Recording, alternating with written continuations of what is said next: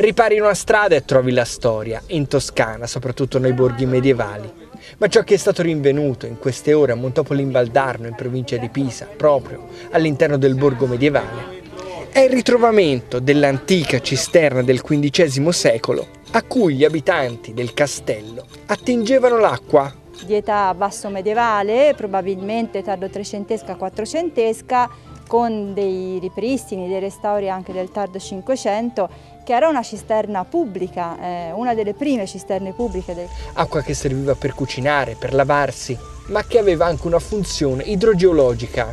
Non si arrivava all'acqua di falda, ma si tenevano anche asciutte le fondazioni delle case che in questi terreni che sono a forte erosione eh, devono essere particolarmente curate. Quindi è un sistema molto intelligente eh, di eh, recupero dell'acqua e anche adattamento e sfruttamento della situazione ambientale. Cisterna già individuata in questi anni nell'elaborazione in 3D del castello che vedeva proprio questo ritrovamento al centro riportate alla luce in senso diciamo, pratico come in, questo, in, in questa occasione che l'abbiamo eh, diciamo, aperta e abbiamo visto come era fatta, che dimensioni aveva, che cosa, cosa c'era dentro.